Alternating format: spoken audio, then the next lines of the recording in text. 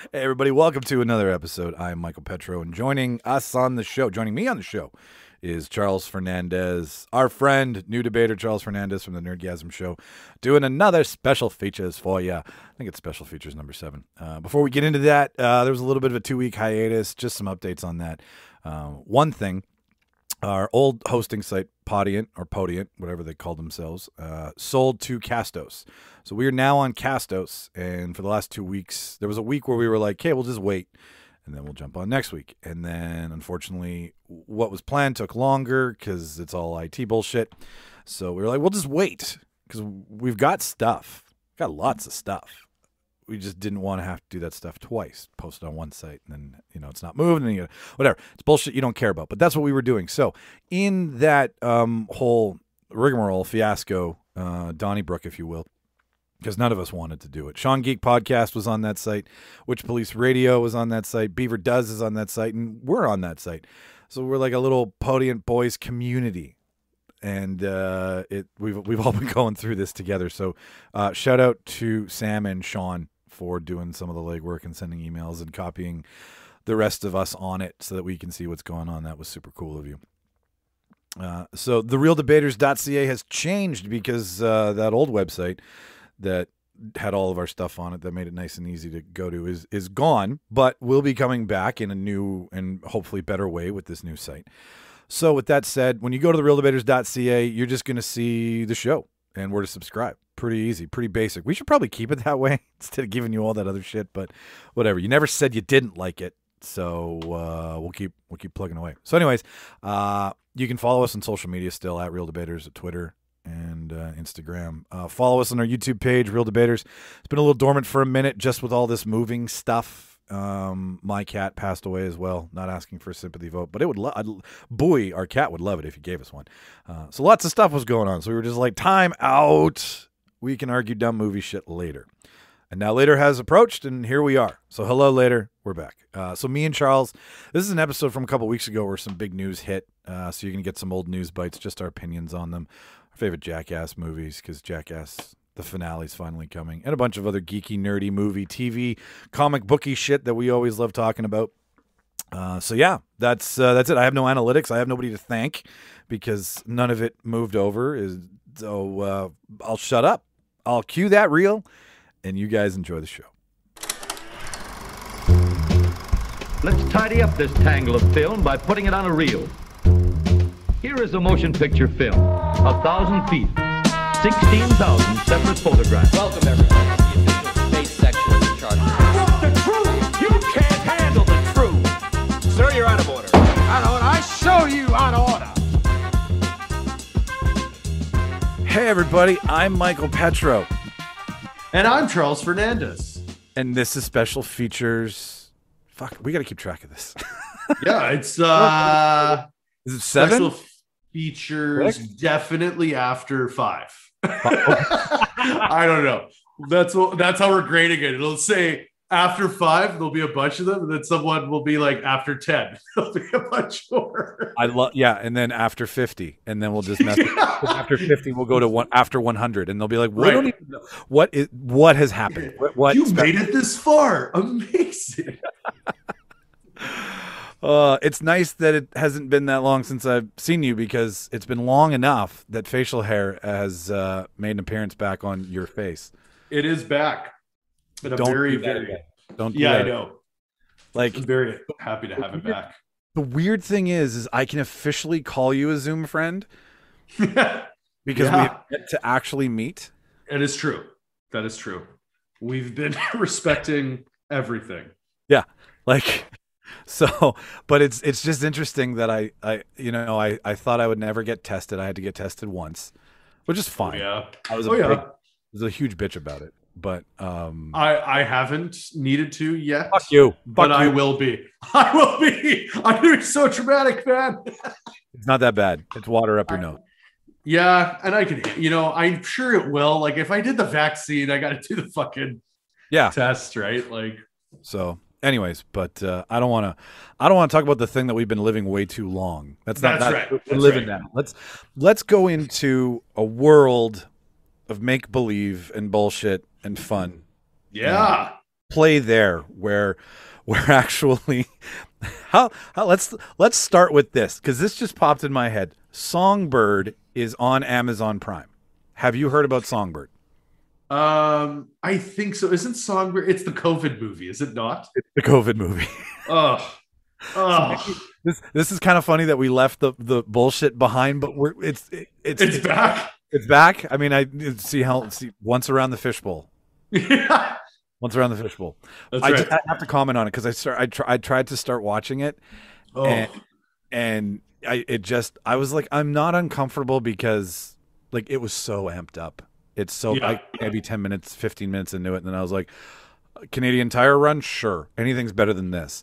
So um, it is COVID twenty three, so it's mutated on mutated on mutation, right? And everybody's stuck in their homes. People who aren't uh, who are immune are like bike messengers. So they like deliver shit. All like, Craig Robinson owns a bike. Like this is as far as I got. Craig Robinson owns a messenger service that delivers things to the rich people. Class warfare is taken over. Nobody's allowed outside of their house. Somebody sounds like Alex Jones in the background doing a podcast to start the show, and that's where I was like, I gotta go. I got. I'm sorry. Like I can't. I can't give this my eyes. I can't give it my. I can't give the algorithm what it fucking wants to make more shit like that because that is too on the nose and too fucking soon. Yeah, like, yeah, like I'm offended for so many reasons that movie even got made. I was. That's crazy, man. We're not even out of this. Like, I don't even think we're like really out of the woods yet. And they're No. making a movie that's like, bo- that was like me and Claudia love reality TV. So with watching reality TV, you get fucking commercials for Grey's Anatomy and all this other shit. Grey's Anatomy was advertising like, we're dealing with COVID. I'm like, wait a minute. So you're telling me that even these fake make believe fucking medical shows are dealing with COVID? Why? You're not supposed to be dealing with stuff we're actually dealing with. It's supposed to be insane. Like what happened to the Grey's Anatomy where it's like there's a dude with a bomb inside of him and nobody can deactivate it because it might blow up. Not fucking oh COVID. yeah. like- no. I. I agree. That's so dumb. okay, they did that. Obvi- Shameless did that too. Shameless wrote, but like, what was interesting about Shameless was they wrote it into the plot about a family who doesn't have much dealing with a pandemic, which is what a lot of all of us like all of us had to deal with the pen. Like, it was just a very good way of showing a class of people dealing with it, Right, writing right. into the show. But on the other hand, of like trying to like pedal it in. Like in a Grey's way, because I know exactly what way you're talking. I did six years of Grey's. Yeah, me too, man. right until right until the Mick whatevers both left and Yeah. and like I and I bought it. I bought into it. I it's Yeah, it's- man. They had some really good episodes in the early seasons, man. They did. And like Yeah. I I enjoyed the cheese because it was like they knew they were giving you cheese, so they Yeah. didn't pretend otherwise, right? And that Yeah. that's fine. Like if you it don't lipstick on a pig, right? So Right. and Shonda Rhimes can make great shit. Like she's a Absolutely. powerhouse producer and writer. But like after the shootout and Mick whatever, Mick double double, dreamy, steamy, Yeah. dreamy You got was it? That, that so McDreamy is the main one. McSteamy was like, yeah, a side piece, I guess. That makes perfect fuck. Okay, yeah, that makes sense. I can I can understand that. So The Uh, shooting as season, I know exactly what you're talking about. That was one of the greatest season finales for a show I've ever seen. I don't care what anyone says. That episode was fucking wild. it was it was really Yeah. well. The, the the way this all works itself out though is that see I started a way to move into another way. Now I'm calling it out, and that's not even a segue anymore. I'm a fucking idiot. So like, um, Call it out, man. the reason I started with Songbird is because it's on Amazon. Okay. Something big happened this week Yeah, with Amazon.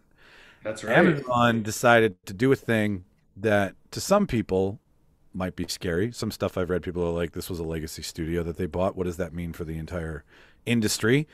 Yeah. And then other people are like, no, this studio needs a home and nobody had the balls to buy it yet. Oh, balls, I mean money, printing Yeah. money.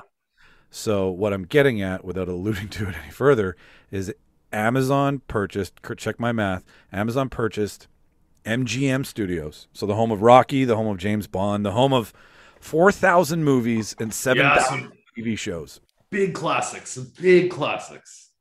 for four or five billion dollars. Yeah, man. The entire MGM catalog will now be available on Amazon Prime. It's crazy. So let's start, let's start with the obvious question. Are you okay with this?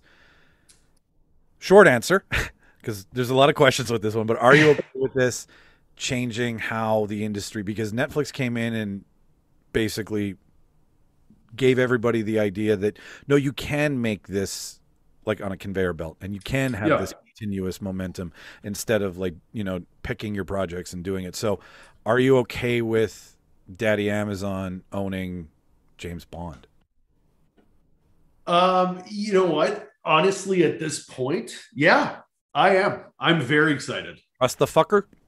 I I think I I honestly think it's time that we had some new and really forward thinking blood taking on some of these franchises, man. Like Okay. me me and my me and my wife are rewatching Mission Impossible right now and I hate to say it but Mission Impossible is doing what James Bond is kind of hasn't been doing since like Goldeneye since almost like you know Pierce Brosnan ones like nothing against Daniel Craig. I think he's a great James Bond.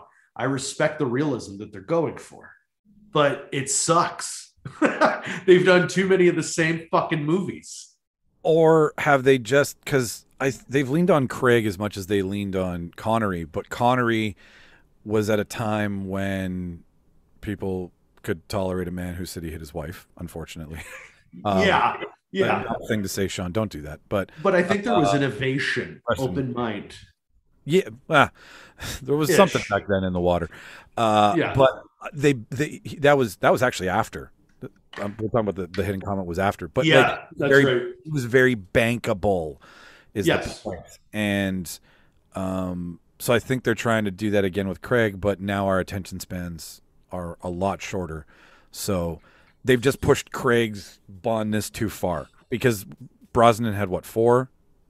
This will be Uh, is this six? yeah, I, you know, I, I know. I think it's. Let's see. There's uh, Casino Royale, Quantum of Solace, Skyfall, Spectre, and now No Time to Die. So this is number five for him. But it feels. I think it's been 20 years almost that That's he's had okay. this role. I- So that's crazy. There it is. That's why it feels longer, is because the amount of time in between yeah. to make them, and, And- this spec- this specifically, fucking Yeah. the specific Yeah. taken a lot longer. And he made it very clear with the last one, never mind No Time to Die, that he's very exhausted with the studio process. Unfortunately, like, and this is another rant that we could say for another day, but I believe Sony has been leading the rights with Bond. And Sony, I'm sorry, they're not the right studio for that. They just aren't. They are. If Sony put all their effort into Spideyverse and animation, I think they would fucking kill it. I think they give Disney a run for their money, DreamWorks, all of it. But as a big studio like what like what Disney's doing, they're trying to do that. They can't. They just can't. Like, look at this. There's so many things, but going back to the main point. Amazon. Amazon has the right idea. So far, from what I've seen, all of Amazon's original content, just like Netflix, not all of it is amazing, but the shows that I've been focusing my time on are amazing. The Boys, Invincible, um, like they know as long as they have a team that actually cares about these properties. I, I'm really excited. I'm really like if Amazon wanted to do a James Bond TV show at this point, I'm like, let's do it because I never thought a, Steve, a Star Wars TV show would work, and Oh, that that's- changed everything. That's and that's exactly what uh, like the broccoli family. Barbara came out and said we're still looking forward to a future in the theaters and showing the world. Like you know, Well- those words, those words specifically are like The- the world, and- right? Amazon makes movies. They're in the business of making movies. What I'm saying is that obviously they have a lot of avenues that they can kind of shop these things. Like James Bond movies, I'm still definitely pushing for, absolutely, and I hope they do that. But for instance, RoboCop as a TV show totally Yeah, makes sense to me. Totally makes more sense. Fair enough. So maybe it's about because, like, see, here's my take on it. I see, I, I don't see a broken wheel. I just see a panicked industry. So, you know, Yes. housing industry right now, get out while the getting's good. Mhm. Uh, MGM is one of if like it's like the one of the first six NHL teams, right? It's one of the first. Yeah, they're one of the great. So Goldwyn Mayer, like it's Yeah. the age of the golden age of cinema is in that that that box of fucking IP. Oh my god, I can't. It's you know what? I'm gonna be sitting there when they drop it, and you're just gonna be like, "That was MGM. That was MGM. Oh my god, that was MG." Like, Oh yeah. just gonna be this culture shock, and so Well, even I- just the yelling, the roaring tiger or the roaring lion, right? Like the roaring, like that. How many people know that logo? That's MGM right there for you, right? And just associating that, it's like, holy shit. I just someone said something smart. I didn't say it first, but it made me think um, that I, the algorithm. You know who it was? It was somebody who wrote two. Of the, it was one of the script writers for James Bond. I think it was for Quantum something else, and he Yeah. said that he's just worried about the AI leading the charge. And so that thing so- scares me. That scares me. yeah. So those uh those things are what make me scared because they'll go, "Oh, well no one's watching this." And it's like, "Well, no, it, it doesn't matter." See, the thing is is that when you're going to produce this to the world, they're going to want to see it. So when you start going and picking and choosing what you think we want to say ba- ba- based on an algorithm, it might just not be that popular that month. You know? Yes. So don't buy all this stuff and then pick and choose based on what your algorithm tells you. So that's my worry is that they're using Yes. this big Cadillac and Mhm. underneath is a Dodge Neon that you're going to get eventually. It's going to be this this this That's so down- good. you know and and and that's how they think they don't think like a studio and now a Right. studio which is 8.4 like this is rights by the sounds of it that doesn't mean mgm is disappearing it just No. has a cash influx of trillions of dollars now to do whatever they want so there's that's the the the tit for tat there um Well, and, I, uh, you made so many good points. I mean, like the big thing too is unfortunately these studios. Main thing is it seems like the main influence of decision making, property buying, is shareholder based. It's shareholder influence and it's shareholder based, and it's all about what's going to make them most money. And that's just the fucking way the industry and the world works. But it sucks because this industry specifically is creative. I don't care what anybody says. Yes, there's money, obviously but what gets them the most profitability is the most create like creativity. And an algorithm like we can't be based on an algorithm okay? You know how many times i've dude, been like dude have you have you watched any westworld? Right right. Have, have you? Oh yeah yeah absolutely. You know that we're just a stack of fucking data. Oh, we're 100% 100% but I think like the creative decisions being based on an algorithm is so dumb because like according to my algorithm, I will watch uh American Pie Band Camp, which is like which one is that? Absolutely. And I'll finish it at like two o'clock in the morning on a Friday. And then if someone asks me, hey, why did you watch it? It's like, I don't know, please. I ne- I want to erase that. And then if an algorithm is saying that's what he wants, make more, I'm gonna hate myself. I'm gonna hate them. I'm gonna hate everything about it. Like it's honestly, I think the smartest fucking thing that companies can do is like if I was running Amazon, I'd be like, Reddit anonymously, we're thinking about making a Robocop TV show. What do you think? and see what the fans fucking think.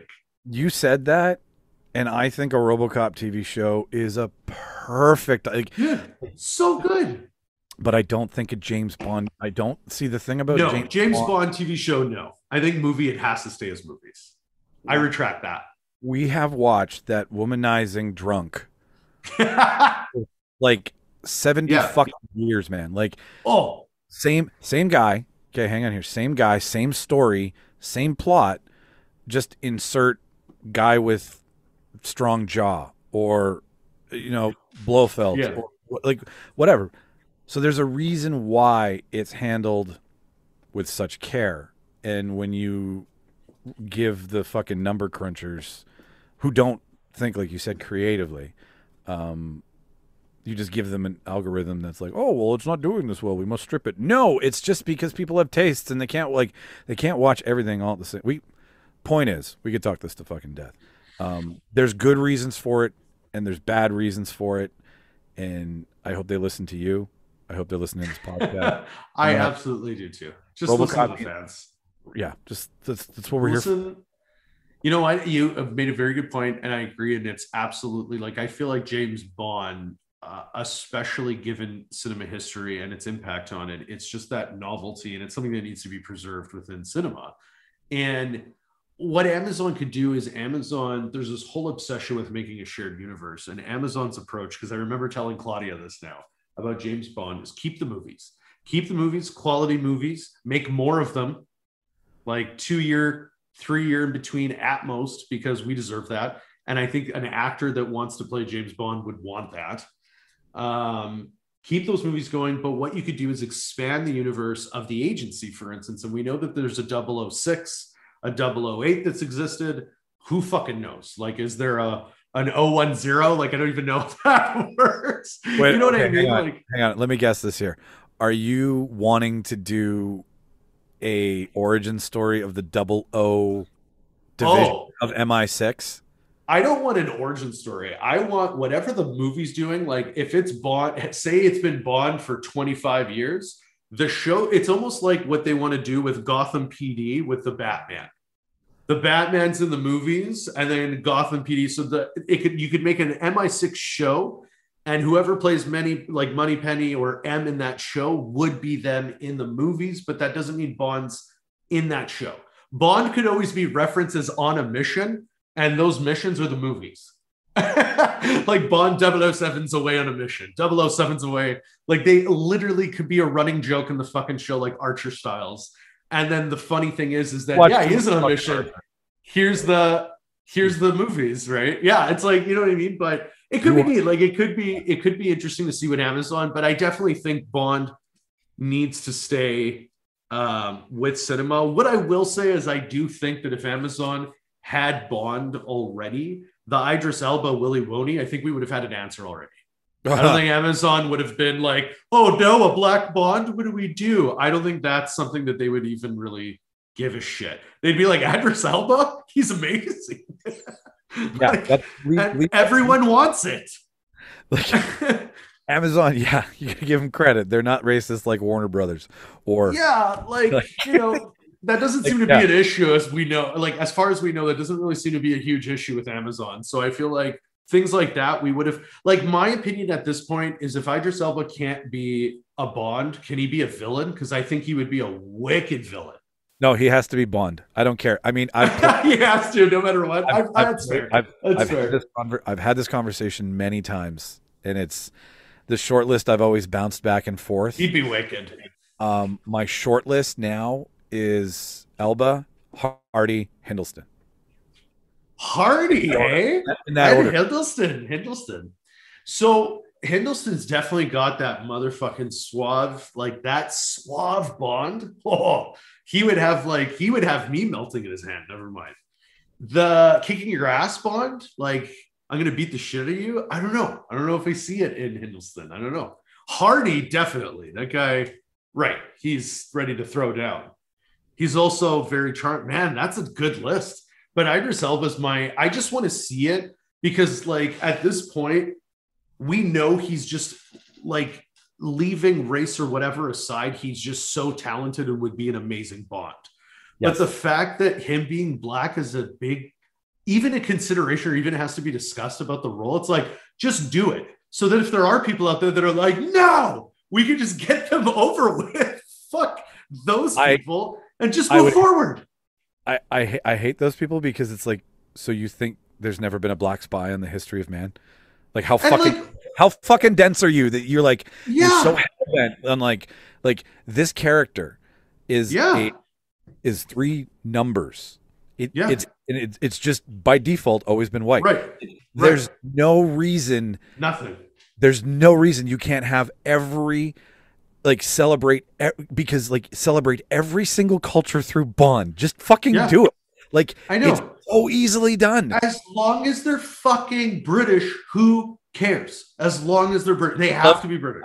I love how you're like, oh, yeah, because as soon as they go into the American, they're going to go CIA, and then it's like, Well, it's, and then it's just lost. yeah, it's No, I- Mission Impossible. Like let Mission Impossible do that. yeah, You know what I mean? Like Right. that's basically like Mission Impossible is America's answer to Bond. Fine. And they're very different from each other. So that's great. You know what I mean? but like you keep it British. It's the same way as I see Harry Potter. Like it's just that is pivotal to the origins of the story. It's same way as like Black Panther. Yes, it should be a black actor and a black cast playing those roles. Like that is what makes sense to the story and the characters and everything. So just being true to the narrative, I'm like, uh because it's also like uh getting an American to play Bond, it's like so there was no British, there's no British actors that were None. available at all, really. Like um I having said that, it's clear we're very it's clear we're Bond fans, which I'm very happy about. yeah. No, I, uh, I, I just stop, stop it. Idris Elba for Bond. Yeah, just do it. Let's do it. I'm ready. I think we're all ready. 2021 to 2035, Idris Elba for Bond. And someone said he's too old, and I said, okay, I'm down to see that. I'm down to see old Bruce Wayne. I'm down to see old James Bond. We loved old Logan. Old Logan was fucking wicked. Let's get him old. You know you, you, made the Irishman, so you took an old guy, Yeah. and then Yeah. you made him look young, but you didn't make him kick young. You just made you made him kick like a 90 year Yeah, that I old, didn't like. looking like a six, a, a, 40 year old. Whatever. We're tangent. We're tangent. Right. Hang on here. Let's Right, get back. Right, right. Let's do it. Let's do it. Because the next the next thing is you. So you want to talk about the shit you want to talk about. The next thing is you, which is. WB Warner Brothers' next animated movie. And yeah. now you you can you can give me your hot take on this here because I know the video game Injustice, which is the movie that they're doing, but yeah. is Injustice a storyline that carries into the video game, or is the video game just titled that because it uses all the characters from Injustice? Like, how does this all tie together?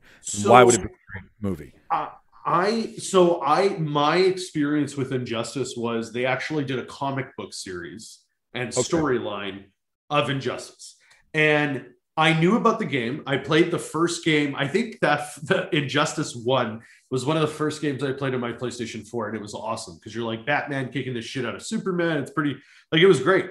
Um, the storyline was really cool, but then I remember I think they either tied it into a comic book storyline or because the game was so popular they made comic books so i read the comic book storyline and it is fucking wicked um, Zack snyder and the snyder cut all those scenes where it's that alternate future that's from injustice that is the injustice storyline Okay, so the idea with the Injustice storyline is essentially Joker.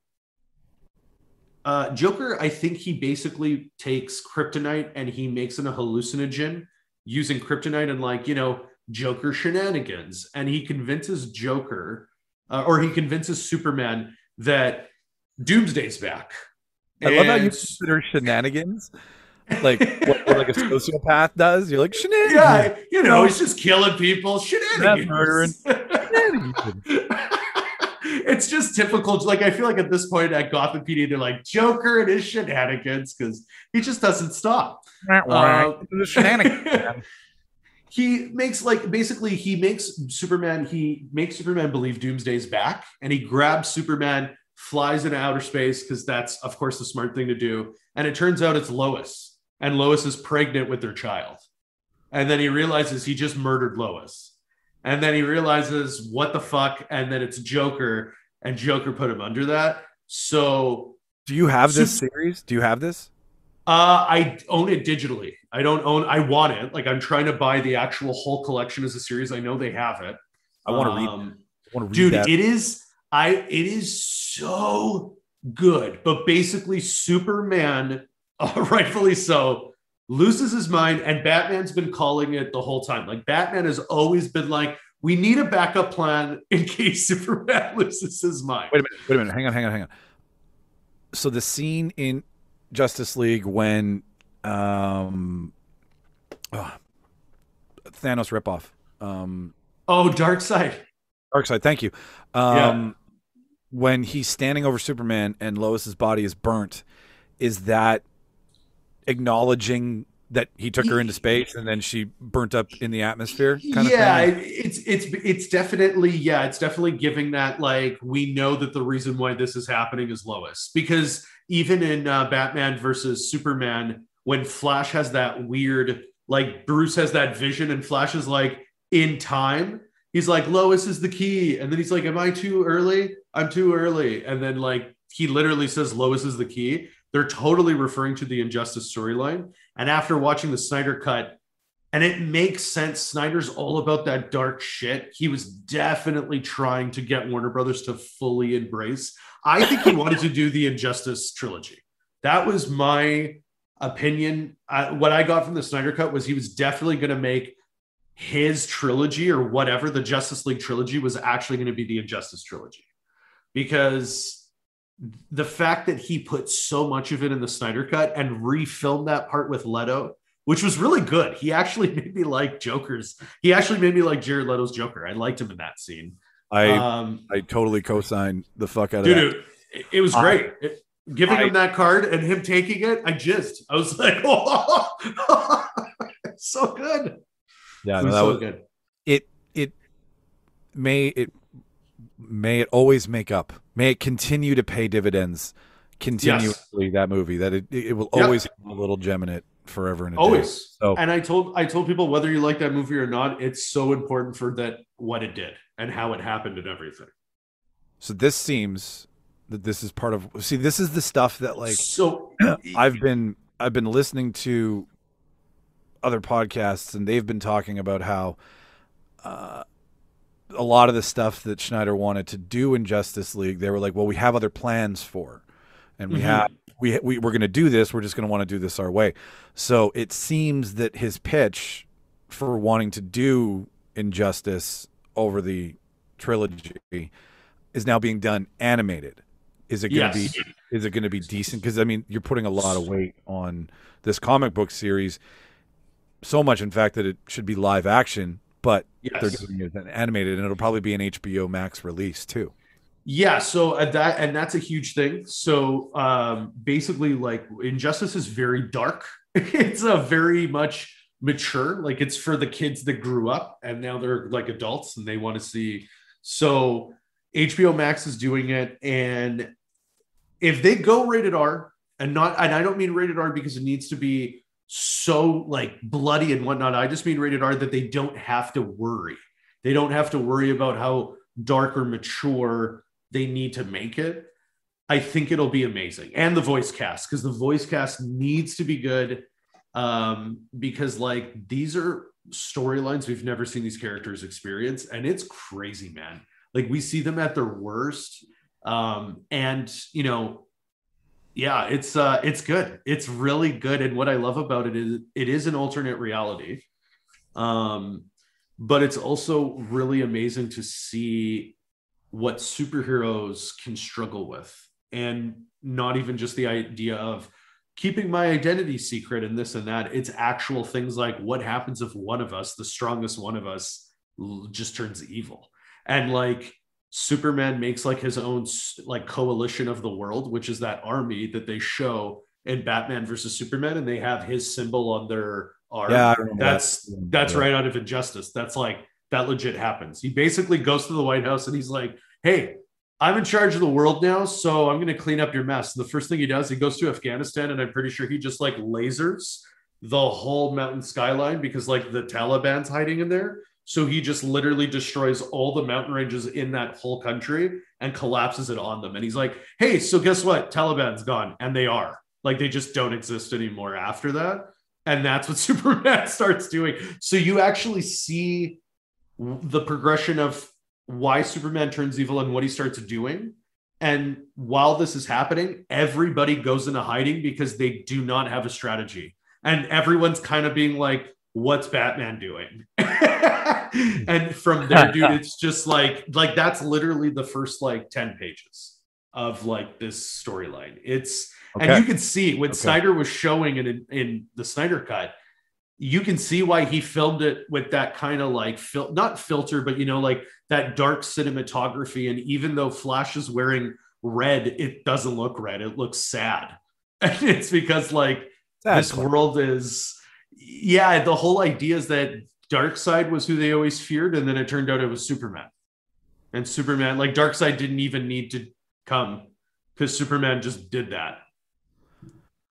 Uh, okay, now I'm I'm sold on it because I just thought like I I they they say here in the article that they tried to incorporate that story into the video games and the backstory. They do, yeah. I imagine it's not as in depth as as The comics are amazing. Yeah, the comics are way better. Like the way they do it in the game, I give them props. It's one of the first times I've seen, and they started doing it with the uh, Mortal Kombat games, and they did a really good job. They're Okay. incorporating narrative, but they also have to remember it's a fight game. So then it cuts to like, you know, Wonder Woman versus Flash, because that's what needs to happen. And in the game, it's not as about the narrative, it's more about the encounters and fighting, which is fine because it's a game. The comic books is very much they're telling the story that should be told and the way it needs to be told. And they're not like stuck with like we have to make these two characters fight because it's a fighting game. They'll only fight because it's justified with the storyline kind of thing. So Okay, okay. the, the Um, game's not bad the game's still pretty good but i definitely recommend like actually reading the comics. All right. So there you have it. And, reason why. Like, I mean, I, I just, some of these things to me are just shocking because I'm like, this is such, like, now that I know this, I'm like, it'd be such a better story, live action. i know man and with ben affleck and henry Hey. cavill and that whole cast. Hey, ah hey, sorry sorry sorry, Cross talk, motherfucker. it's killing me sorry Um, I know it is. Keep it in your pants. So, like, um, I just, I'm not. I, I, I, just see it as a waste. I see it as, as putting it out to, for like just to say you did it. Like it, it, it it's such a good. And I mean, the things that everybody has seen. If this is what you're referencing, because I mean, I, I don't come from. I, I mean, I collected comics, but I don't have a huge comic. I don't have enough of a Bible to know more than what is referenced in the movies to then go research. I don't know the the the the, the really the minutia of it. So I know what I know, but knowing that this comes from this book and it's this story and then seeing the bits and pieces of it, yeah, it would be a great fucking dark telling of it. But now we're doing it in the vein of Invincible or Castlevania or whatever because a it's cheaper but b you can get away with a lot more in an r-rated animation than you can in an r-rated live action so i don't know we'll see what happens final thought Yeah, I'm I'm very hopeful. I again, I think their rep so far for their animated movies is better than their live action. Like I Yeah, honestly okay. like I get more excited for like Long Halloween's coming out. I'm really excited for that too as well. So as long as they stay true to the source material, I think and again, I think you made a very good point. Being an anime, they can get away with a lot more, and I hope that they take advantage of that. So I'm very optimistic. I think it's going to be great, and I hope it is. so um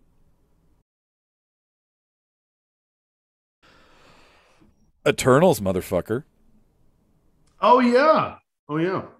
what'd you think i mean first first thoughts i'll throw out uh beautifully beautifully shot obviously like Mhm. they tried they did a very good uh chloe said this is what happened she told kevin feige she's like this is what happens when you shoot on a beach like you this is the kind of Yeah. beautiful so like they really let her shoot like Yes. you would a masterpiece like a beautiful thing because now it totally like I'm not saying that Marvel movies don't look beautiful, but I'm also saying Marvel movie Marvel movies don't look beautiful. And like you know, it just doesn't like it looks Lord of the Ring ringish now, right? It looks oh, Yeah. pure. It looks Yeah. fancy and you're like, well, it is fantasy and fantasy has that regal aspect to it. So it's a very smart play why they picked her now because the style of film that she makes has that that wispiness of fantasy to it. Like I haven't seen Nomadland, I've just seen stills and whatnot, but like she just shoots with a with a with a cinematographer's eye as opposed to just a director's uh, put together. Lack of a better word. What do you what do you think? Yeah, man, I I really agree. I haven't seen Nomadland, uh, but same like you, I saw clips and stuff like that, and it seems like her style is very raw and real. Like she just grabs her camera, she doesn't care about the audio equipment or what lens. She's like, I have my camera. I'm just going to capture these people right now in this moment in time. And with that trailer, I definitely got that impression. It's beautiful, and they did exactly what a teaser trailer should do I'm very intrigued by it. I have no idea what the fuck is going on. Um, very intrigued. Yeah, play with my nipples. Like you've like I'm I'm erect. I'm in. I'm in. I like it, but you, what's going on, right? Like, so it did a tra- it did what a teaser trailer should. Like I like. I feel like companies have had a hard time to make actual proper trailers and teasers where it reveals absolutely nothing but intrigues you. So they did a really good job with that. That cast lineup that one shot with the cast just lined up there, fucking great cast. Holy shit. Like that, that's when I was like, yeah, I'm you like now I'm very intrigued.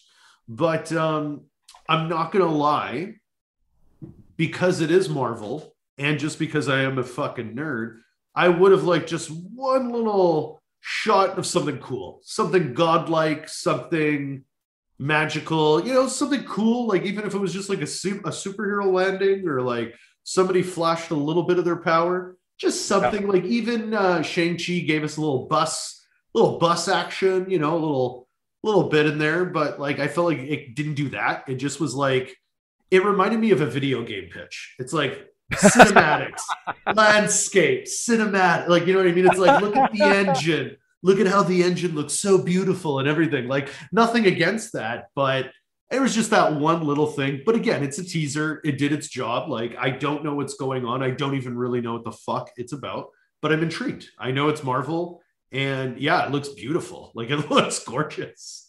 it uh it really is a ensemble. Yeah, man, that cast is wild. It's like, gonna be a lot oh, of that oh. joke. That's what it was. They make that fucking joke at the end about the yeah. who's going to lead Avengers. That's right. Oh, I that, was like, huh? they go now that now that Iron Man and Steve Rogers are dead. Um, right. Who will lead the Avengers? And then uh, fucking Rob Robb Stark. Rob, Robb Stark. Like, well, I can't yeah. I'll laugh at it. There's this theory. There's already a working theory, obviously, because we're all stupid nuts for this shit. So they're making fun of the red wedding there. That's what I thought. I'm like, are they laughing at the red wedding? that that would be smart. That would be Yeah. Or someone goes behind them, sure, asshole. And they're like, ah. guy, guy comes in ready to like just walks up with a knife. He was like, oh, wrong, wrong thing. Um, yeah. That would be funny. No, but uh, someone's someone's thinking that uh, when Cap went through time to put the stones back, he may have passed by them and told them not to interfere because they are, from my understanding, and you can correct me if I'm wrong, they are like we're getting into magic where yeah.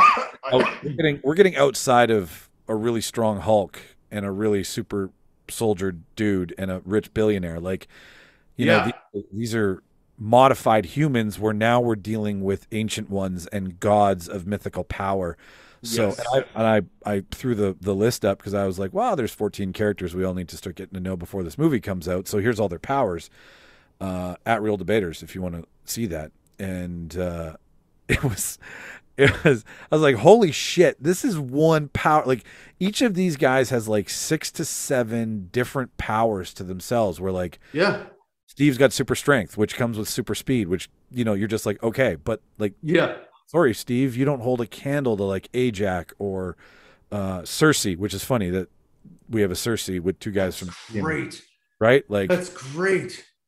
You know, so there's just there's a lot going on with this that Mark even said it. He was like, "This is the age of magic for Marvel, right? It's not the age." It definitely is. Like, and I, even like WandaVision made a very big effort to let us know, like, hey man, we're dipping into realms of lore yeah. in the MCU, and uh, we're all for it, right? Like, let's get weird.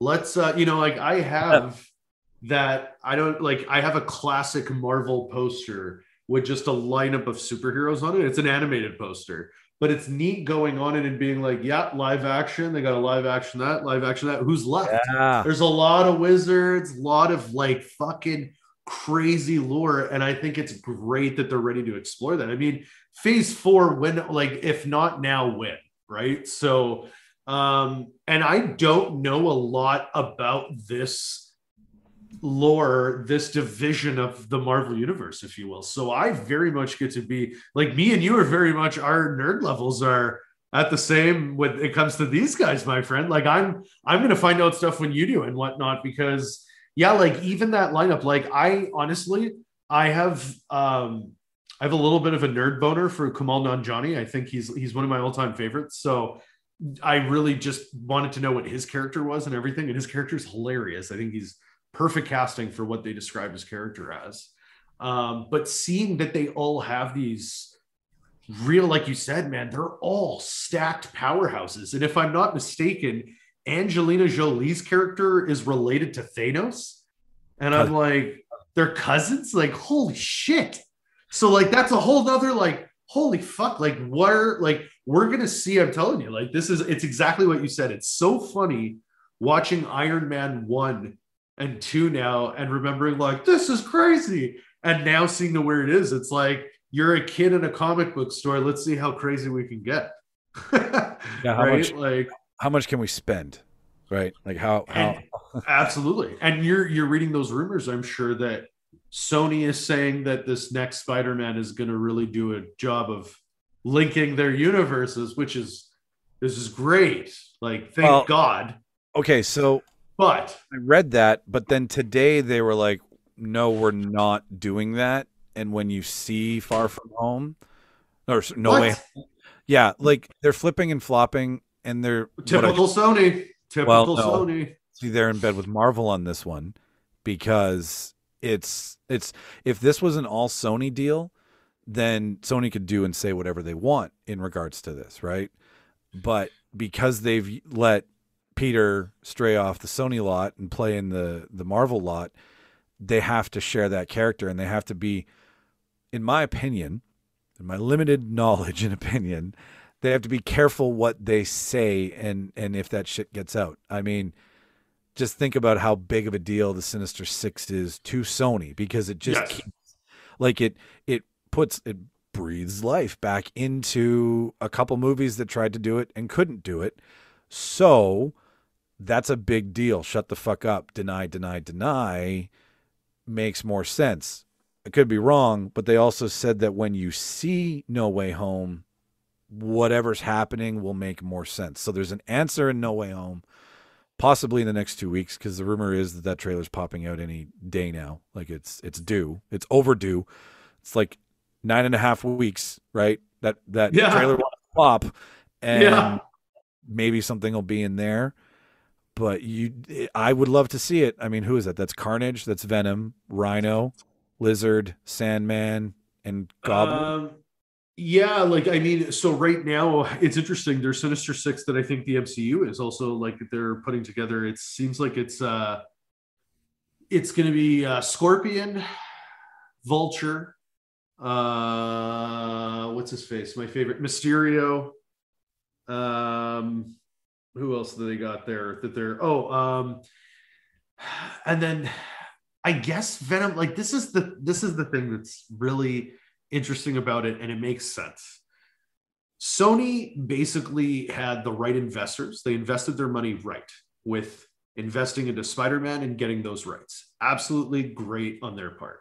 They just don't know what to do with it because again, their investors have more say than their creative side. So even this idea of developing Spider-Man's villain universe without the MCU doesn't fucking make sense.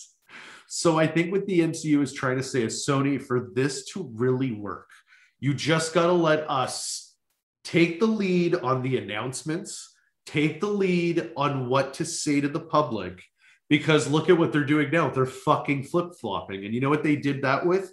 With Venom. Rated R this, rated R that. We got the Zombieland director. He made it rated R, and then it wasn't rated R. And I do believe the rated R rating made that movie shit. It really took away from it because now Venom is like a Deadpool and he's like the comic relief, and it makes no sense. Spider Man is the comic relief so that Venom can be dark. And then when Venom isn't dark enough, Carnage shows up.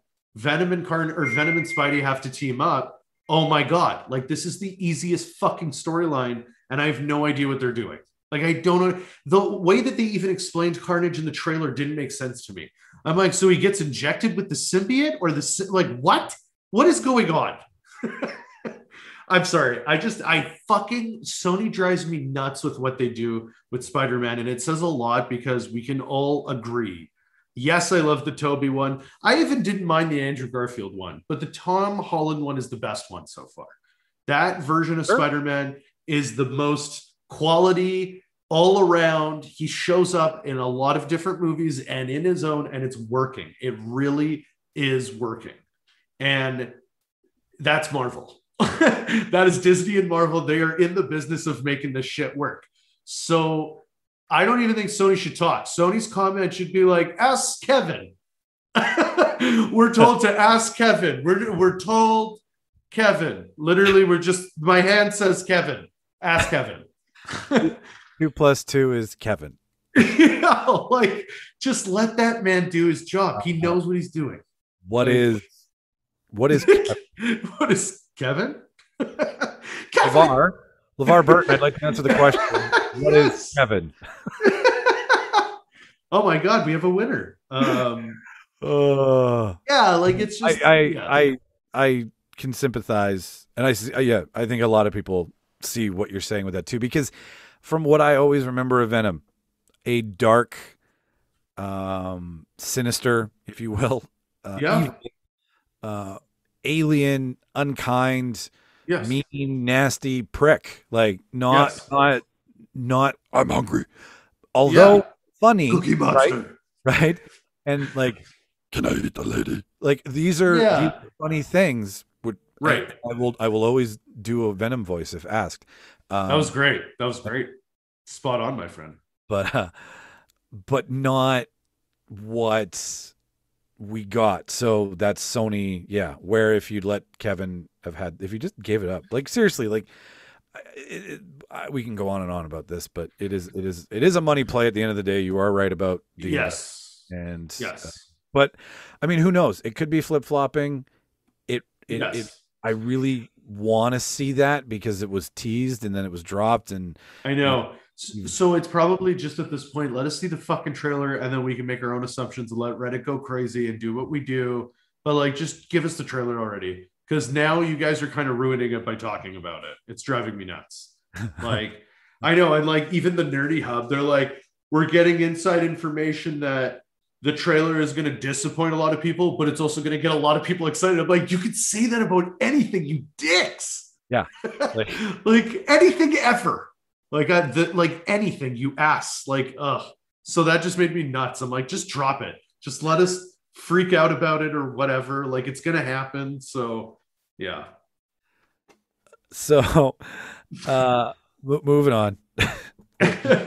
We'll we'll take out we'll take the stake out of your heart and. Thank you. let's move on to something a little more R rated that you didn't get out of Venom. I think this one's this one's good. So uh news has it the Jackass 4 is the last Jackass. Rightfully so. Yeah. Uh, Steve-O was paralyzed from the waist down for one stunt. They won't tell you what that stunt is, but they they paralyzed him from the waist down. Which I'm like, I've been paralyzed from the waist down when I had to have my uh, my Achilles tendon repaired. So I mean, Ooh. not not that stunty. Yeah, I'll tell you about that. That happened in Vegas. Ooh. So, uh, anyways, uh, Jackass Four. Is it and also Knoxville's 50? Like, yeah, Yeah. dude, you're gonna die. like, just yeah. Even athletes retire. Like, I'm not saying like the way that you abuse your body, like, dude, that's why, like, yeah, like I get it. I thought Jackass 3 would have been the last one. I mean, you know, I'm just really nervous that Jackass 4 is gonna be too tame for what we like. Okay, so they paralyzed him from the waist down, but as a kindness to Steve-O, who's a recovering addict, they don't do painkillers anymore. So a lot of their stunts Right. are chosen based on how much can we take before we need to take drugs, and then right. stop right there. But Right, right, right. that said, I just want to take a minute, take a moment to uh, pay respect to the show that taught me what jerking off a horse looks like and then drinking it. to uh, uh, one of the grossest things. Electric Avenue. What I'm what I'm getting at Oh, is Electric Avenue is great. our favorite our favorite stunt slash sketch slash whatever. Uh, I'll go first. Um, Electric Avenue. If you remember, I don't remember which one it is because there's just so much jackass that you it just all bleeds together. But it's where they set up the tasers and the cattle prods. And yes, and they're spinning and shit. you have to like navigate. yeah, it's like an obstacle course with just tasers. Yeah, and they're so, they're so powerful that like they launch like Bam got launched over somebody Yeah. Yeah. over two, like boxes that were in the way that were obviously like you know deterrents for speed. And uh like just lost his fucking mind. But just watching him like they sl- they they put the skull cam on it. And you just see him launch. And you're like oh yeah. it, it was one of the first i really remember where like it just like cringing. And i mean there's other shit to cringe on like but like that one just kind of i'm like just you have nowhere to go. Like nowhere to go. It's just spinning Yeah. and And anxiety they all they all say that one of the worst things, and these guys are fucking monsters to themselves.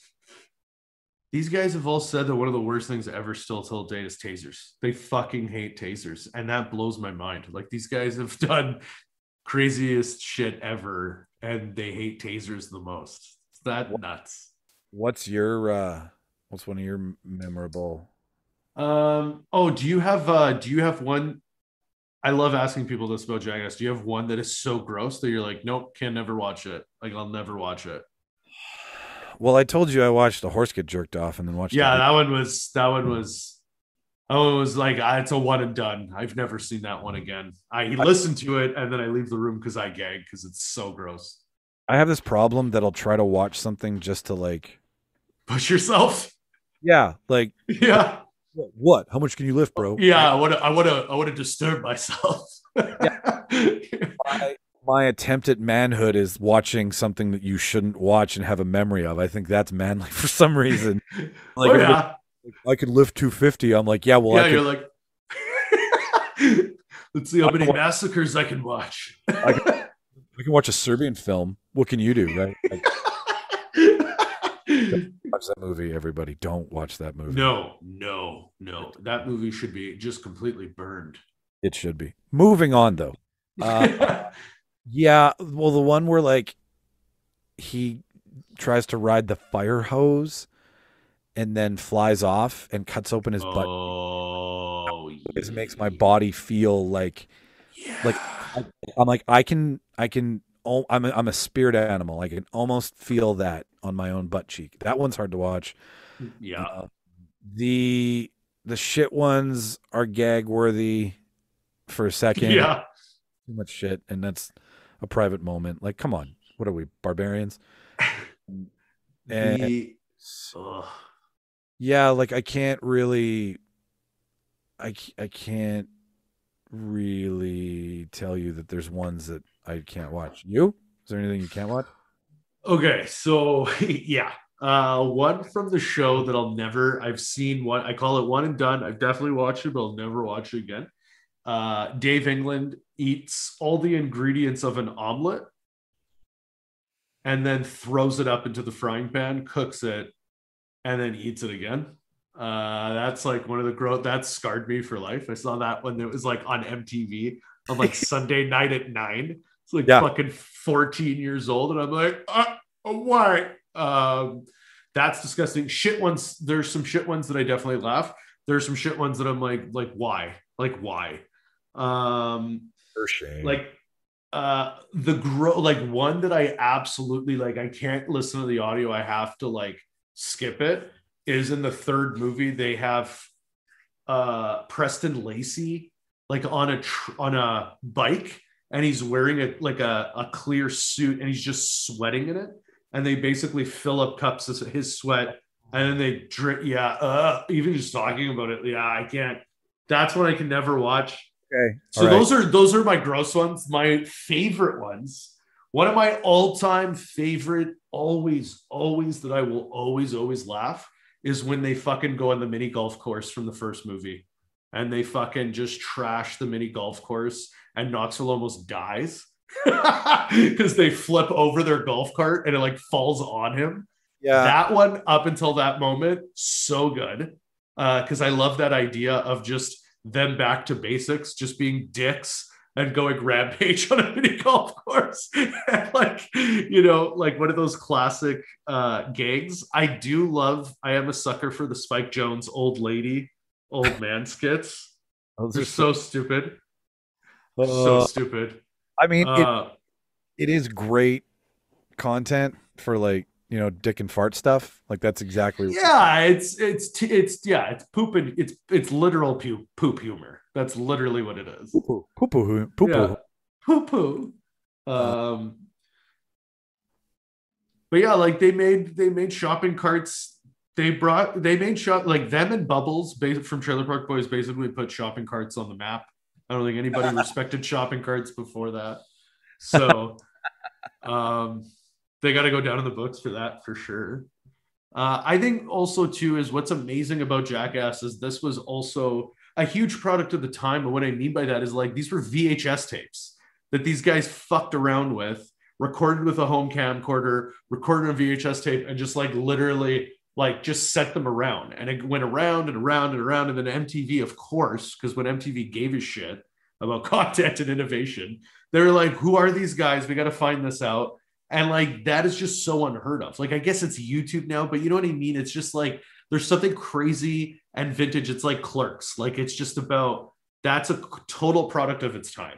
And that started off as these fucking crazy kids. Like everybody had those kids that were just nuts in their school. They were clearly these kids. They recorded them fucking around. They put it on a VHS tape. And like the fact that that became Jackass is amazing. I know the I know the original inception story for it. You want to hear it? Is that is it the CKY2K? I remember those tapes, and I, I had one of those those Bam Margera tapes, but I love it. Tell me, I'm so excited. So Knoxville wanted to be a journalist before he was anything, or was into journalism, and he wrote for Big Brother skateboard. And what? this guy booked an article to write about what it would be like to be an attack dummy in a self-defense course as well as like dog training right like where you wear the dummy suit and then people kick the shit out Right, and right. that guy couldn't do the story so knoxville said he would do it and he got there and the dummy the guy that was supposed to be the dummy um didn't show up. Then knoxville was like i'll do it. And that is the moment that they decided to start filming this shit because they realized that it was content. So that's awesome. It came from an accidental assignment while working for Big Brother, and then he left Big Brother, and then they all got together and started filming shit. And See, and I I love. I'm just a sucker for that shit because that's shit that I truly believe in. It's like, it's you know, it's a rare like it's something that is so it's just so special about it. And I know it's jackass, but there's just something special that if that day never happened, who knows? I might, Knoxville could have just been a journalist, which is not anything wrong. But like, I I want a world with jackass. I'm sorry, but I want that world.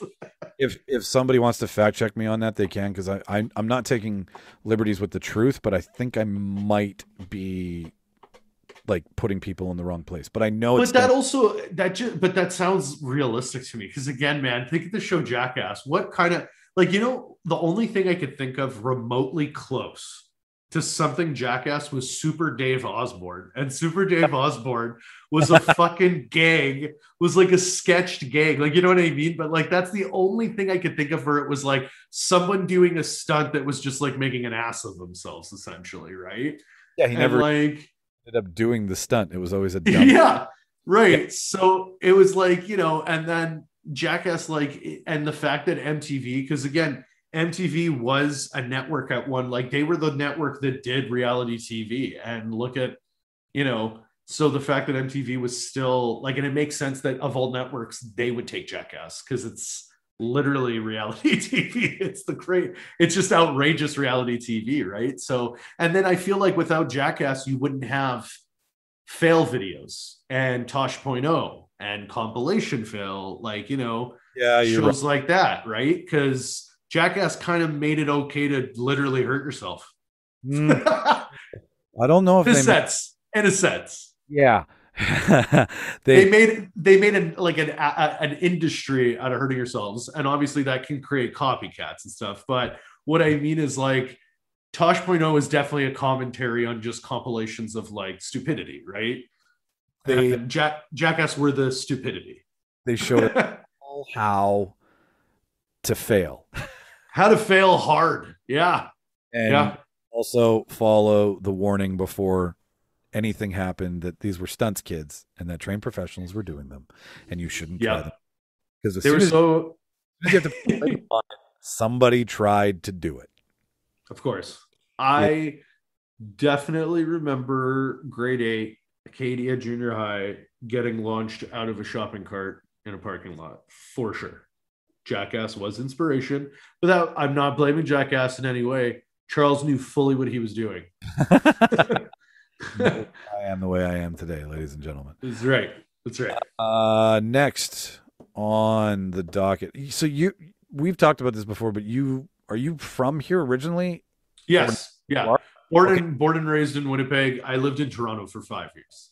Okay, so Yeah. growing up, we're a little off age, but it shouldn't because theaters are around a lot longer than anything else. But what was your favorite movie theater growing up? Oh, I love this question, dude.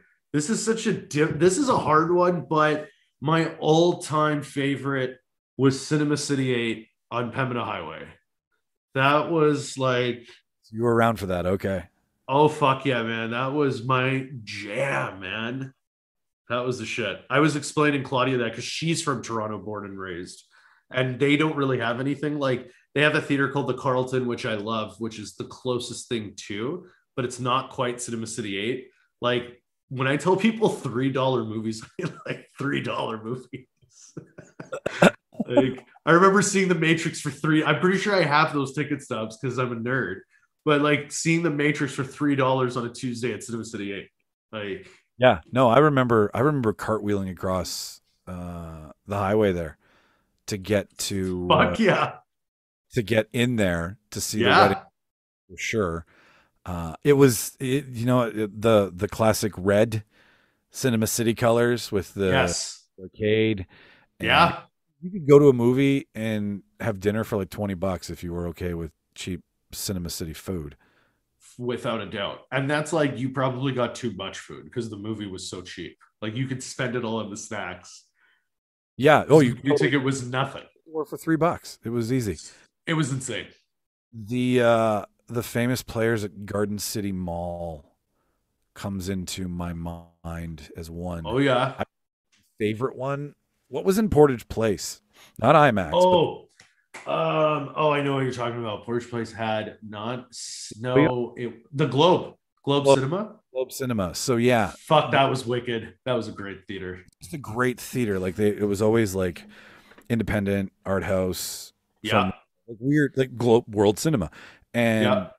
but like you could still go see like classic movies there the odd time, and it was just a huge theater. dude, they were massive. Like it just had that. I don't know. There's just some. There's just some feeling about it. Like Kildonan Place, famous players. That that that thing's finally getting gutted. Like that's been Yeah, hey, ever. yeah, yeah. But that one was. I remember that one was like one of the first. Like ooh, and then that the, they had King Kong, the big King Kong cutout at Yeah, Hotel Silver, like a first Silver City. That was yeah. that was. I worked at that one. That was uh, one of my favorite jobs. I worked there. I think. what was on your name tag? What was your movie? Oh, dude, you're gonna laugh. So I think the first name tag I ever got had "Old School" on it with Will Ferrell. Of course, Blue. Why would you? Yeah, hundred percent. That's out at the time. That's what you put on your on your like. I felt that that was like a badge to be like, I'm cool. This is Yeah, dude. dude that's what it like that's what it was and it was funny because you know for and i'm sure you've experienced this for being movie nerds it can sometimes draw a line in the sand in a funny way. Like i never was actually like i fucking hate you but there would be times where i'm like really? Like change my mind. Because it'd be a movie like i'm like what?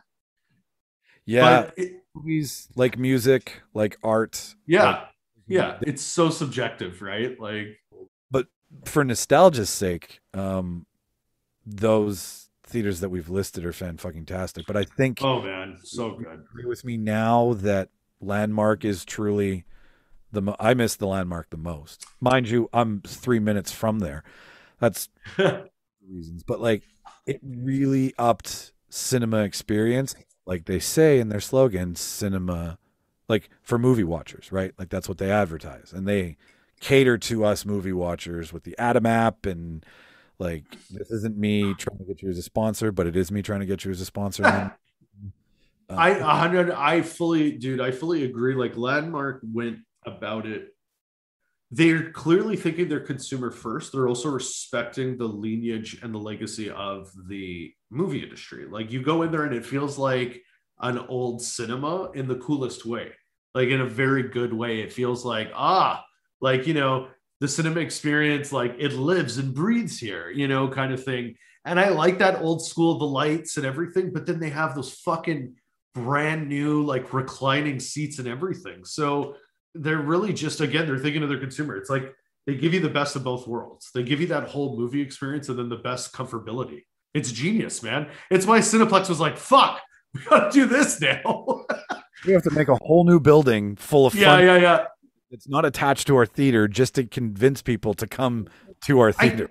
I also can't believe they couldn't figure out a way to at least attach it. Or like like literally behind Polo Park is an empty dirt fucking lot that's been like that for years, man.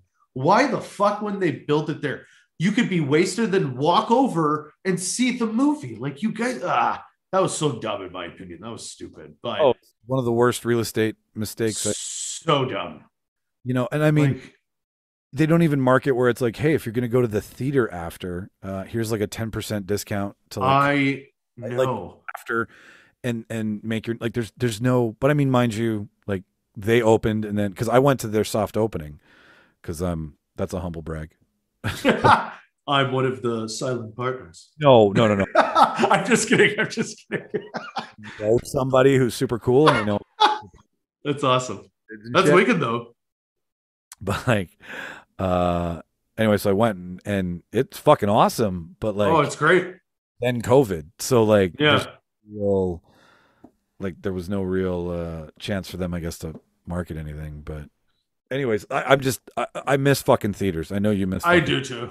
I do too. I I will say I I understand why people hated Warner Brothers for making it available at home, but the bottom line is for the movies I really wanted to see, if I really like if my movie theaters were open, I would see them in theaters. Like I wanted to see Mortal Kombat in theaters. I wanted to see Godzilla versus King Kong in theaters, but unfortunately, in our province, that wasn't a possibility. I'm going to drive to a different fucking. Well, I can't. I can't even do that. So, bottom line is, I'm like, it sucks if we would have no opportunity to see this content, especially things like that, man, because nerds are ruthless. Like, day of, there can be spoilers if you're not careful. And I really hate that about these kind of communities with like these properties that really does drive me nuts. But having, anyways, my point is, is that it's like, I am happy that they at least made it because it was nice to be able to watch it at home and at least see it. However, when theaters open back up, I hope they're going to show Mortal Kombat, like those movies we couldn't see, make it like five bucks. I'll totally go pay and see those movies. Like, i I, even want to see them. pay full price like yeah, I mean, at this point, you may as well, right? Like, we want to bring the movie industry back. So, Like I wonder if when they turn everything back on that they don't like like I feel that the movie theater is Kevin McAllister and every like the government is the family. yeah, when they when they when they go to Paris, so to speak, or when they you know they they forget that the movie industry exists and they leave them at yeah, home. yeah. The And- movie industry's like, Like, hey, what about us? Like, what? Okay, I guess I'll order a pizza and have a great weekend, but nobody gives a shit about me. anymore. yeah, Like- yeah, there there like there has been no the only thing that has been hit there's nothing i i it's i, I don't want to offend anybody it's the last thing we like to do here but of course, of course. there the the entertainment gig theater fun escape stuff that we like to go see watch and listen to they have been hit super fucking hard and i'm not about to like Absolutely. throw out a fucking line here about, but like the movie theater, just don't forget the movie theater, people. That's all we're Yeah, asking. like just don't let them just don't let them die. And I really hope the government has something in place to just, you know, ensure that they don't completely go out of business because it'd be an absolute shame for the movie theaters to go out of business for something like this. Like the fact that you couldn't even plan, say, your last movie to see, like, you know, at least when rental stores closed, you could rent your last movie or buy one. Like, you know what I mean? Like, it's just, yeah, like, I, I also hope that there's always an outlet of movie theaters in some format. I really hope that Cineplex, like, they should do what movie theaters did in the 80s and 90s that made them so captivating is yes, people are paying to go see a movie, but make it an event. You know, it's opening night. Have some trivia before the movie starts. Whoever gets the trivia right gets a fucking t-shirt or whatever. I remember when I worked at Cineplex, they used to do stuff like that, get the crowd going and shit. You know, um, I don't even remember them doing that. Like they don't even do that like in the last couple of years. I don't remember anybody really doing that anymore. And it's something where it's like you got to make sure that you're engaging and bringing people in more than just the movie itself because unfortunately in the day and age we live i can see the movie at home on my screen with this and right this and that hey I gotta fuck it. Let's do it. Let's just go to when the movie theaters open up. We'll just ask them. We'll be like, yeah, we're from the Nerdgasm and we're from the Reel Debaters, and we want to go have some fun with people in the audience and, and hype them up and make it oh that'd be wicked yeah I'll- I'll- let us do it on a fucking yeah soapbox and be like, who wants to play some trivia? yeah I'm dude afraid. I'm afraid to make a video of myself. I am not afraid to make an ass out of myself live. oh man i would love would love to host stuff like that dude i think it would be great and like especially when movie theaters open they might not have movies to play right away or not like to the revenue they need. So do things like hey friday saturday sunday we're doing uh like we're doing a back to the future weekend. We're going to show the first one friday second one saturday. People dress up we'll have prizes for best costume do Yeah. trivia all that shit and it'll be a weekend and people could pay like i paid 20 bucks for that whole weekend. Why not? Do you know who who would love to do that? Comedians who are also film nerds. You know, because oh yeah 100% on our show that would, in a minute, if they could go crack some jokes about some stuff and do some fun trivia. I Right. mean, that's if if you work in a movie theater in Winnipeg, guys. Okay, talking we're we're talking direct to you right now. If you work in a movie theater and this is something that you think is cool, you want to reach out to us about it and talk more about it and be like, hey, maybe my boss at XYZ Theater would go for something like that to to to drum up some asses in the seats, so to speak. I'm gonna That's stop moron and and just be sincere and say, get at us if you think this is a good idea and see how far it can go. The reel debaters yeah R E E. Um, we are closing in on the end here. As always, there's some stuff we didn't get to, but there is there's two questions I think that'd be fun to talk about because one of them is one of the most well-known games on the planet, and the other one is something that on this show has, I'm sure, jerked off over at least once. Ooh, I like that. With an intro like that, uh, let's go for the app first. We'll give this a few. Have you ever played Temple Run? Oh, my friend. First game I ever downloaded from the App Store on my iPhone. Until this day, one of my favorite all time mobile games. Nothing has beaten that for me. It is easily one of, and I think it's because it's easy. And it doesn't require much. It's just good eye-hand coordination. If nobody has ever played it, um, you run through a temple, you collect things, you have to jump and duck, and Yeah. it's faster and faster and faster and harder and harder and harder, and does more turns as it goes. Super basic hand-eye coordination game. Now it is being turned into a reality television series. Wild. It's like it's obviously going to be in the vein of Wipeout for sure. Yeah, and like the floor is lava. Like Netflix had that shit. Totally. Did you watch The Floor is Lava? Dude, of course I did. I crushed it. It was ridiculous. It was it was easily one of the best. So many bad competitors, man. So many people that went on the show, and I'm like, what, are, what did you guys not talk at all? or, hang on, did you never play this as a kid? Did you just be like, this, yeah, I this, know. This is a game five year olds fucking play? I know. I know. Like, I, I, dude, but it was good. I liked it. I really, there's something about seeing people fall and hurt themselves and shit that you just never get tired of. It, yeah, no, it's it's so enjoyable. Uh, yeah. Shauna got me down for it, and they're actually releasing another season because of its COVID pop. Like that's see, that's unfair to the algorithm because the algorithm's like, well, we had all the eyes. It's because we weren't allowed to go anywhere. In Netflix, so like, Right. Like, like now you've got people who are preoccupied with trying to get life back. They're not like, well, right.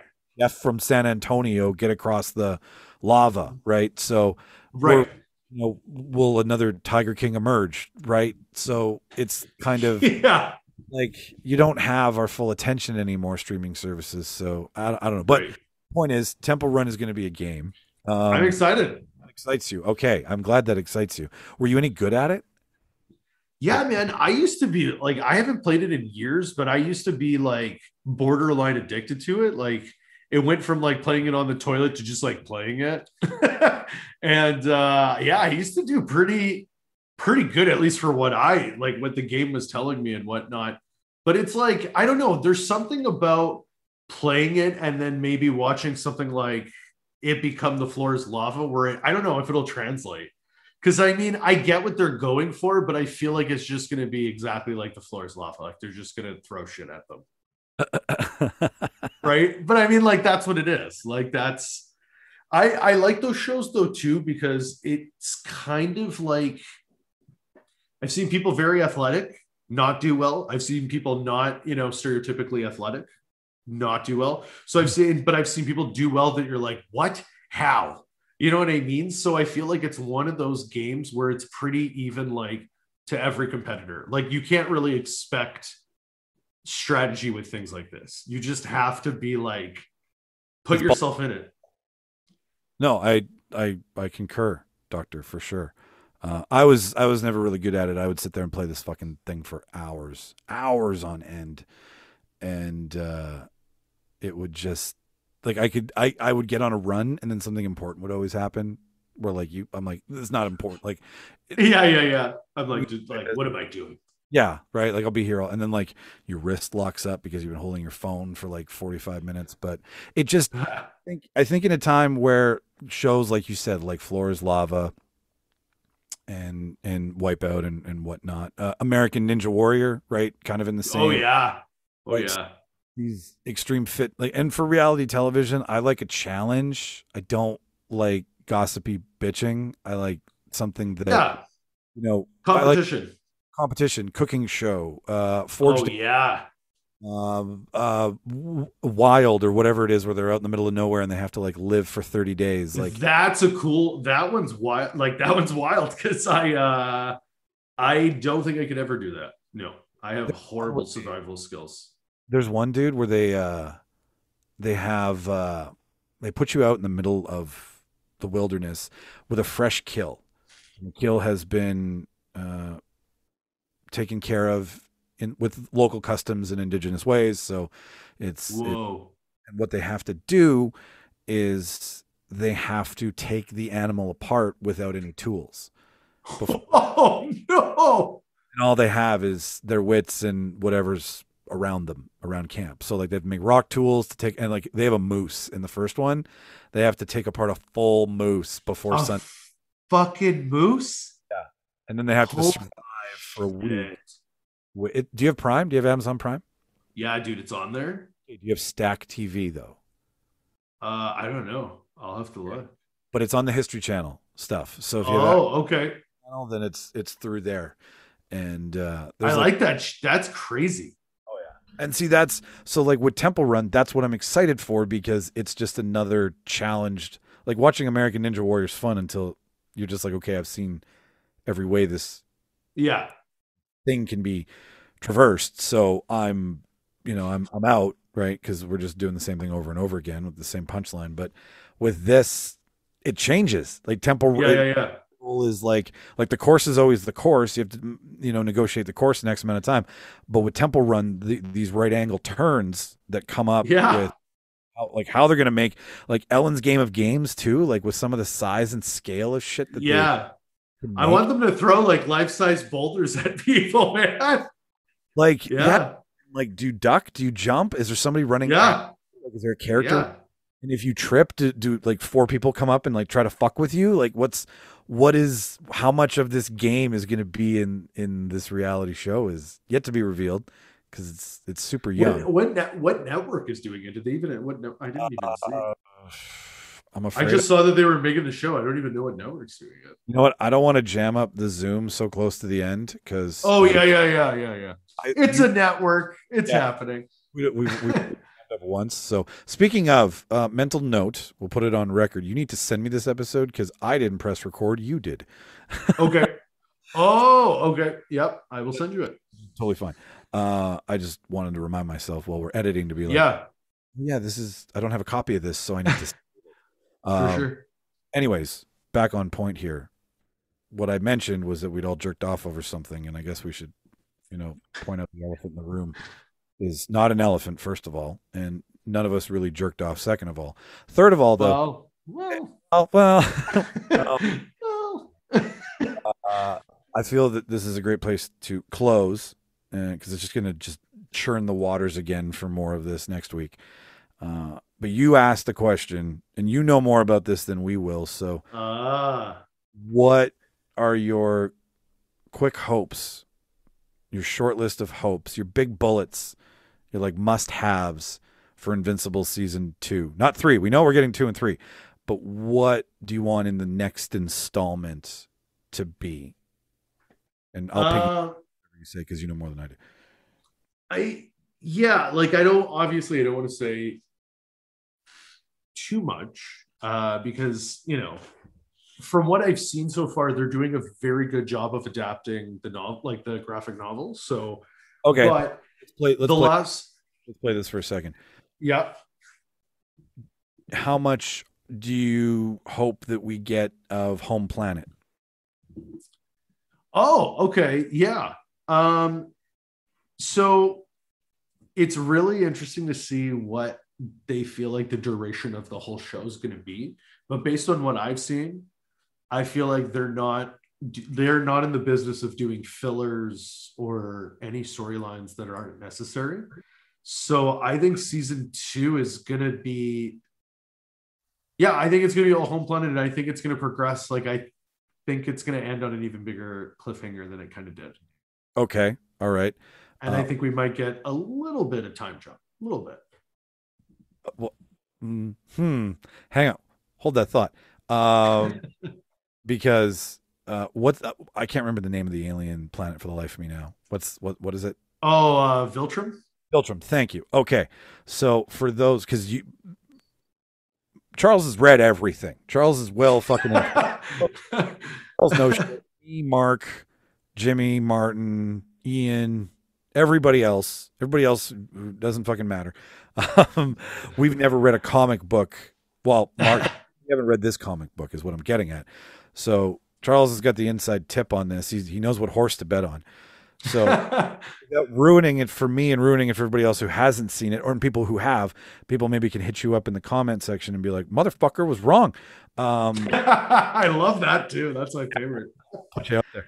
Uh, so where does where does this galactic empire that Seth Rogen's character, the one-eyed alien, do you think that's going to be? Because he mentioned thousands of planets and other solar systems, and like there's this intergalactic planetary like G12 or G7. Um, is that yeah. relevant to the story? Because I mean, to inter- to throw Seth Rogen in at the end of the episode, and then just be like, whoa, okay, we got him a little bit. Now we got a lot of them, and he's explaining a fuck ton of the story. Uh, Is that something that people can look forward to? You think? Absolutely. Um, if it's anything like what I will say is like Allen was very much like that in the comic book too. He showed up the same way. He showed up to the wrong planet. to and and it turns out he's been doing this for a long time, and it's just something that uh, Omni Man just puts up with, and it's like a gang clearly. So that whole thing was true, and then him coming back, the way they did it, yep, like right out of the comic book. And what's neat is that we're going to explore like a lot has happened in season one, but it's all kind of us being like a puppy dog first day at home kind of thing. Season two, I feel like, is going to be like a lot of this is going to be explored and developed a lot further. And you're going to see that everything that's happening is kind of a drop in a much larger scale of things. I know that's such a bruh explanation, but I just don't want to spoil anything. I love I love this game because it's like tell me all about it without spoiling it, like a TikTok video. Uh, right. so, which I think I think it just birthed an idea for a TikTok video, but I don't want to say it because then someone else will pick it up and they'll be like, "I want forty thousand fucking likes." Anyways, no, okay. So to that point, w- there's already been a long list of characters who've gotten the intestines beaten out of them. Yeah. decent list of characters already. Is there a whole new cast of characters on Viltrum that, or are you going to be staying? Are we going to be like, are we going to be introduced to another group of Viltrumites from other pla- like what? What's what's the teaser to come for Mark and Ooh. man?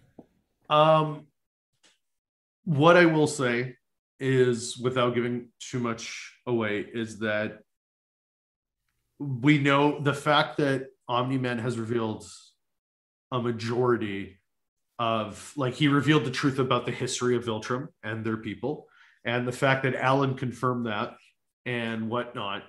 Yes, that like the Viltrum. Let let me just say that in the comic books, they actually had a saga series, if you will, that focused on Viltrum and focused on the Viltrumite storyline.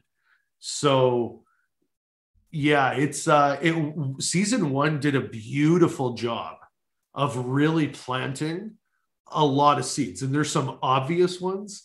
There's also ones where you're like, "Oh man, people have no idea, but this is so exciting." like, yeah, point there. What about the amount of violence that we've seen so far? Like, was is the amount of violence in the comic book? Are we getting a live action version of the of the of the flips of the pages? Like, is it is it pound for pound the same shots, just done now in a way that is really fun to watch? And will that violence continue because that's that's a huge selling feature for all of us. First of all, we're all fucking sociopaths. So I'm like, more blood, right? Like, yeah. I, oh yeah. I'm I'm on it because of a dark take on a on a on a good idea in a way that's doing a very good job of storytelling. Normally, I would not be sucked into this, and these are the reasons why. So, will I get more ultra violence? Will I Uh, get more darkness and drama? Yeah, like let me just say, like, yeah, like there's gonna be some Viltrumite versus Viltrumite shit. And that's like imagine Superman fighting Superman, right? Like that's a whole nother level of insanity. The other thing, like the violence, I will say, Is there another train coming? yeah, okay. I do not remember that at all in the comic books. I really have to go back, but that was something. What I remember in the comic books was Omni Man grabbing that soldier after Mark saved him and literally doing this and like fucking jello, it ex- his head explodes on Mark. That was right out of the comic book. Uh, him throwing Mark into the city and it causing like a crater and basically wiping out. That's Yeah. all out of the comic book. But Omni Man, so Omni Man in the comic book beats like that happens. He beats the shit out of Mark in front of everyone. And then that line where Mark's like, I'd still have you. And then Omni Man like has he's like, ah, feelings. And then he shoots off into space from there and has that scene where the tear freezes, but he actually does that all in front of everybody. So everybody now knows Mark is invincible and that his dad is Omni Man. Whereas in the comic or in the show, they made that fight private. So it's still like Mark has a secret identity. So that's a different kind of little take on it, which I kind of like. That's something new for That me helps. as a reader. Um, and obviously they want to play around with Mark still having that, you know, uh, like invincible kind of uh, secret identity and stuff. So yeah, the but the train thing, I'm pretty sure that was the show. That was fucking crazy, man. That was nuts. That montage of just people exploding over them was like that. I told Claudia, I'm like, imagine those artists trying to explain to their significant others or just to the, anybody what they did for work. Yeah, I had to draw a bunch of people exploding. There's a train. Oh, it was absolute. Like I, my neck was sore. I was just like, oh, yeah, it was that was nuts. That was nuts. It was an on, it, it, and it did its job for sure. But yeah, I but the, yeah, the violence is going to be a lot. Like we're we've seen nothing. We've seen nothing yet. It's going to get way more. It's going to get way more insane. And we're also like Mark. Ah, there's so much. Mark's storyline is about to. Mark's storyline's incredible. It's about to just take a few notches up even further now. Like a lot's happened to Mark that like this is beyond my uncle got shot and I'm Spider-Man. This is like my uncle is the villain. you know what I mean? Like my my dad, like so he's heartened as a superhero in the time that most superheroes take 20 years. It's like he's gotten 20 years of absolute experience now jammed into like an evening because of what has happened to him like mentally. So that's going to be a really cool factor to see too. Uh, yeah, I, I, I love. I I'm still surprised how much I love animation now. Like I'm just I'm waiting for the, waiting for it to be like a new toy and to wear off, and be like I'm going back to the things I know that have you know continued joy. This this was just a weird relationship. I was experimenting. I was young, I didn't know any better. know any better. You know, just it felt right. It was warm. No, whatever. Uh, the point. was It felt nice. it felt nice. I like warm. Warm's nice. The point is, is that Invincible is the shit, and Robert it's amazing. is the shit, and I'm gonna steal your books from you and read them, and I'll give them back. Yeah, man. Them. Hell yeah. But that, sir, I'm so nervous. I'm so nervous right now because I just realized that, like, I think you were the one having the glitchy problems earlier, and I wonder if that Fuck. Oh, your version of the recording because I didn't record this. This is oh, is the audio recorded at all? Or is Well- it, am I the only one recording the audio? we're the only one because uh, So here's here's the thing: if people get to hear this, then none of this happened, and this will all be taken out. Or it did happen. I don't even know my train of thought anymore. I'm trying to I'm I'm trying to inception myself. What the point is, is I my SD card is full because I'm a dum dum, and you recorded this. So whatever recording you have of this is yes, will be. is the recording. Okay. So, um, which is going to be one audio file or two. Or two. Okay. I'm hoping it's two. Like I just realized this. God, I hope it is. I Yeah. really hope it is. Yeah. Well, this is this this is part of podcasting. you guys get to experience so this is kind of like this is uh you get to experience uh the real world of doing this Yeah. Yeah. So I don't know. Like it only hit 58 minutes, and we've obviously been doing this for two hours. So um, that's fine. We'll just uh, we're gonna figure it out we'll figure it out. This one might take a little bit longer to release, but that's fine. Uh, yeah that's understandable we'll switch back into it and kill this thing down. So, uh, well, you know what, man? I uh, uh, we we hit we hit most of we hit eighty percent of the list, which I feel nobody a wants us to hit the whole list because that's too much, and b maybe we shouldn't do the whole list. Maybe we should trim back. So, but I feel Hey, I feel that we we've we've we've covered the majority of the things that get us wet or hard, whatever you feel. Hell yeah, man! I got my fix. Stick it in my veins.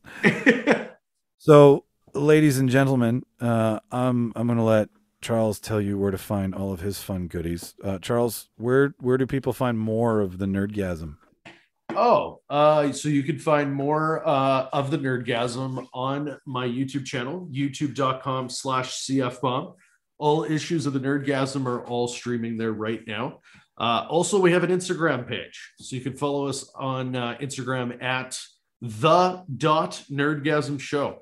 I put content that's exclusive to Instagram and then stuff that's exclusive to YouTube. So you should check out both. Yeah.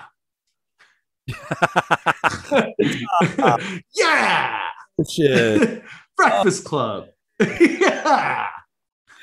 and all that information will be on um, our page as well on our website, reeldebaters.ca, where you can find all the things about us. If this is your first time listening, then head there right now. Uh, you, you, if you if you skip this first part of the uh, the intro, haha, I've got you. Be quick.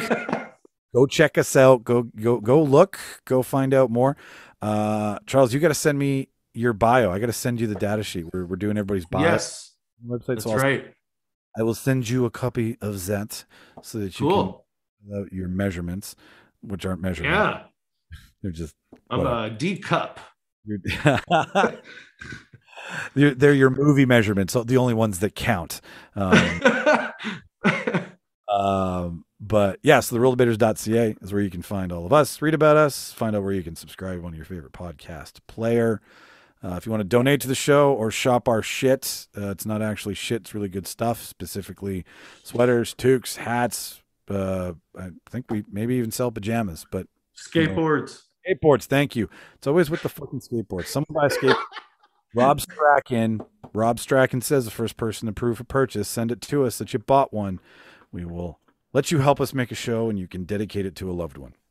Oh, that's awesome. No, that really means nothing. But the first person who buys a skateboard, you know, can make us look like fools. So that should be that's that's really the prize. Uh, the donation thing don't mean shit, but we'll do it. Doesn't mean shit. Uh, and then if you want to follow us online at Reel Debaters, uh, Twitter and Instagram, and our YouTube page. We have YouTube now as well too, Whoa.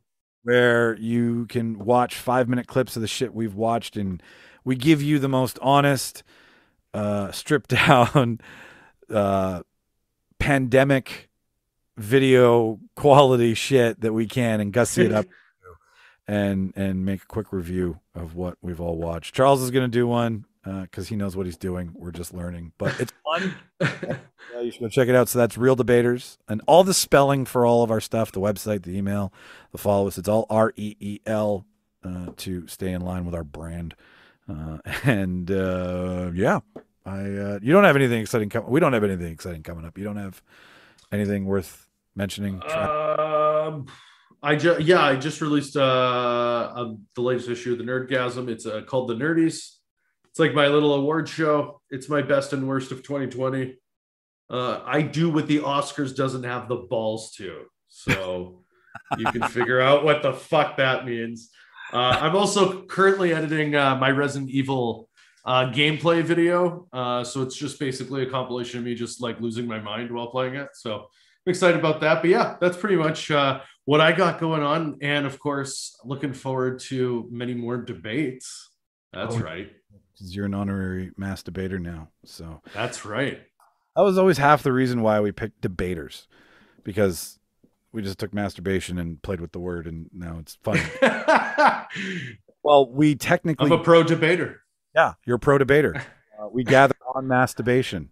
Uh, mass Right. is fun, right? Like it, it, it, it works, right? It works. Oh yeah. As long as there's Bashan happening, it's it's legit.